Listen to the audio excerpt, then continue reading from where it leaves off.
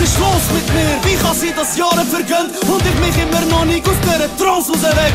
Was ist es, wo mich in Ohnmacht versetzt und verhindert, dass ich mir öfter essentielle Fragen stelle?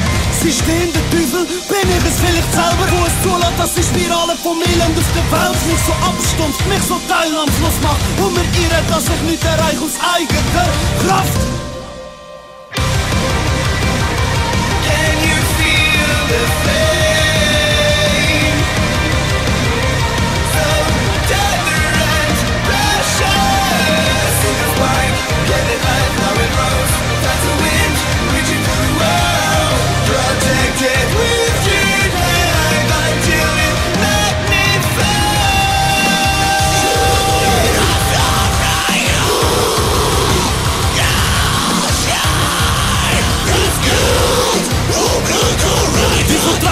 Luxus, wo du ganz genau weißt, dass ein bittere Blut klebt aus Sklavenarbeit. Wieso? Wieso lese ich ihre Zeitungen bis zum Schluss, wo du genau weißt, dass sie lügen und so wie Druck?